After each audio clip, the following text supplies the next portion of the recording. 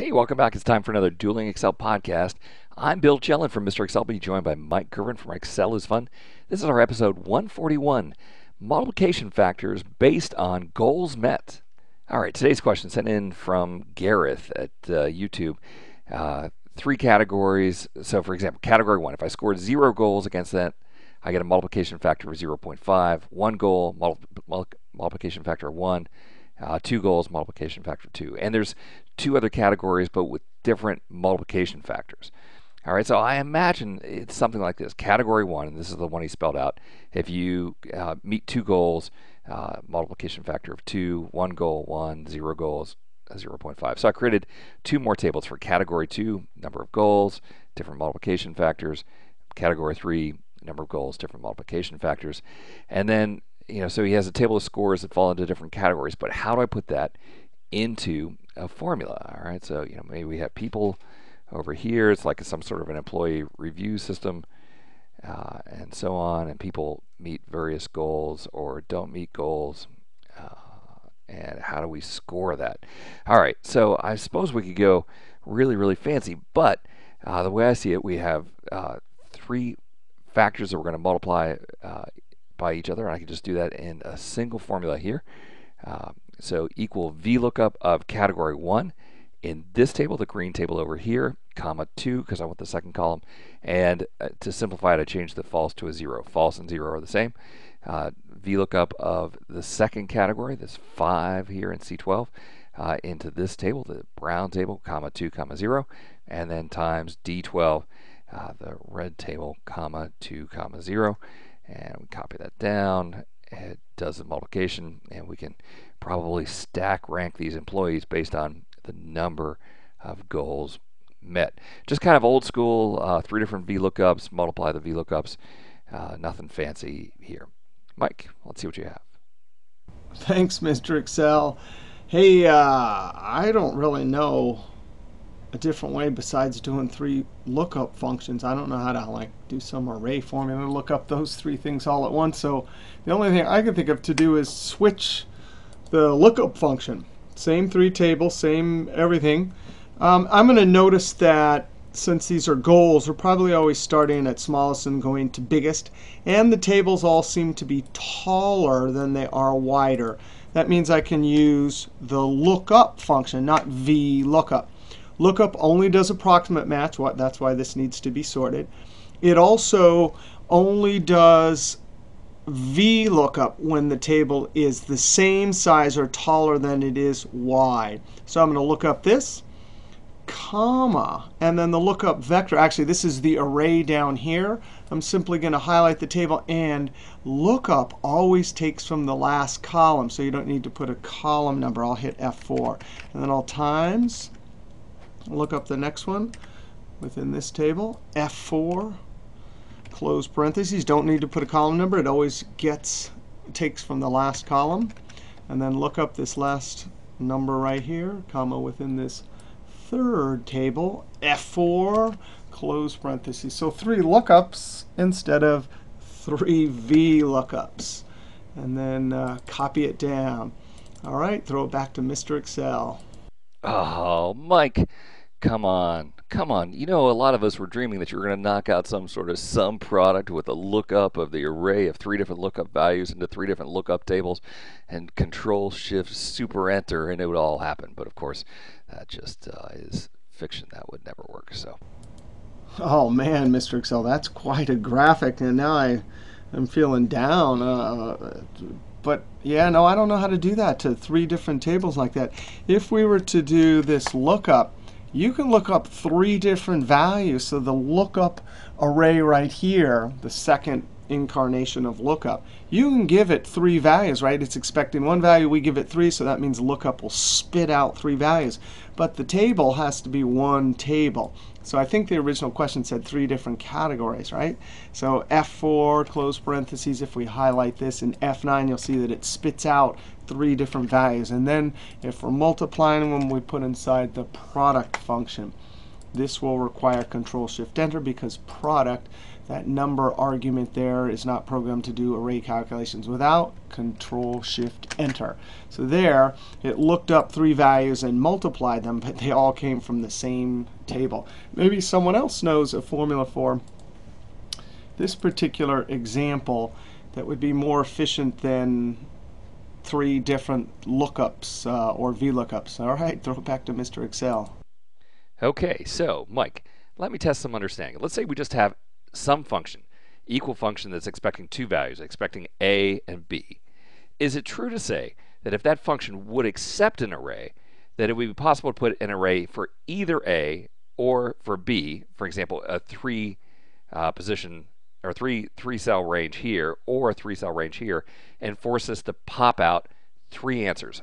But it would be impossible to ever pass a three value array for A and also a three value array for B because, well, frankly, the function just wouldn't know what to do. Does it um, use this item with this item, this item with that item, and the three with the three, or does it produce nine results?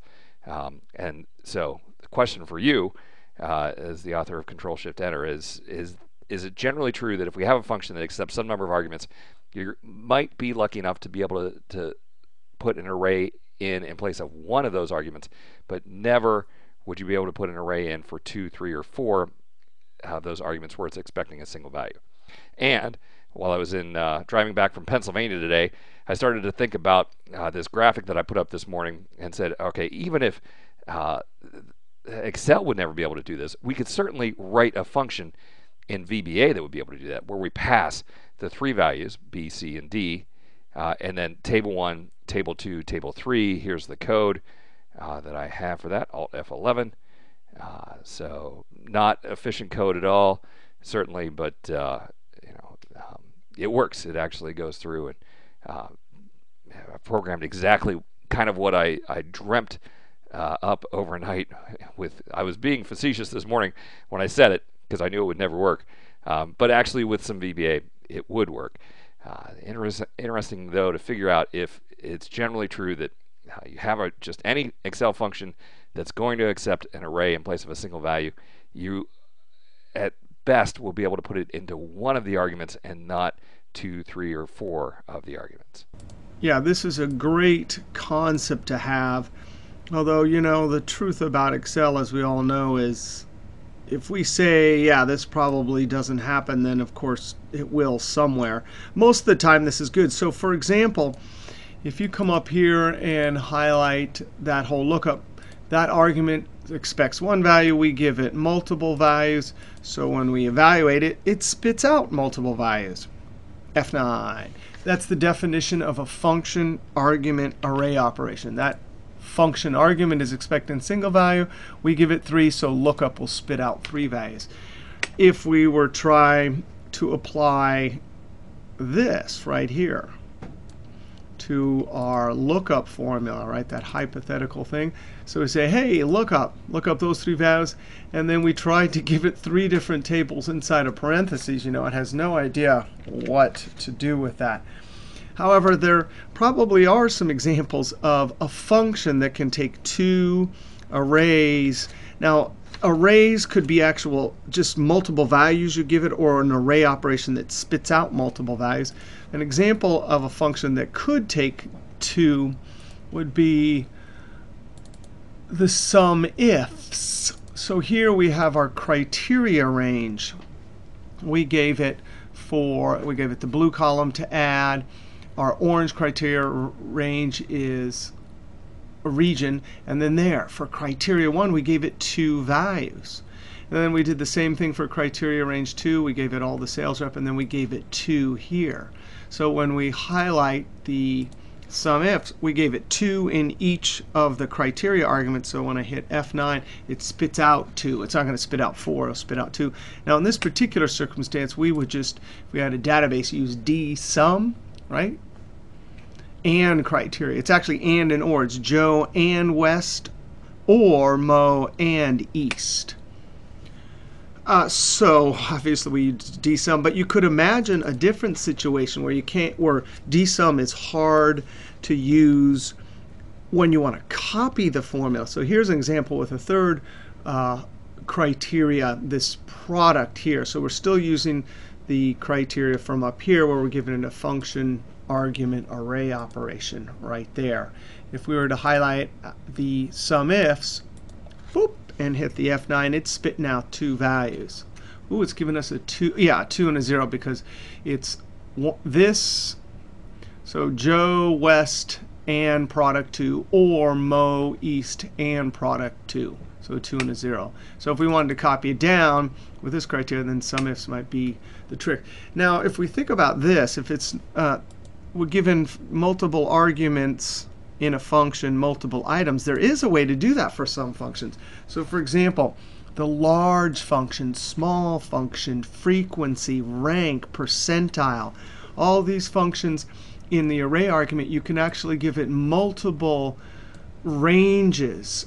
Now this, you know, it's I guess it is an array of, of items. We're giving it two different uh, tables here you can see, but by putting them inside of parentheses, it's just going to take all of these as one group of numbers, and then we'll make an array function, function argument array operation in the K, say, hey, give me the first and second biggest from these two. If you look through the values, it better be 7 and 9. So far, I would highlight the large because that argument right there has two out items, F9. This, the large will spit out two items.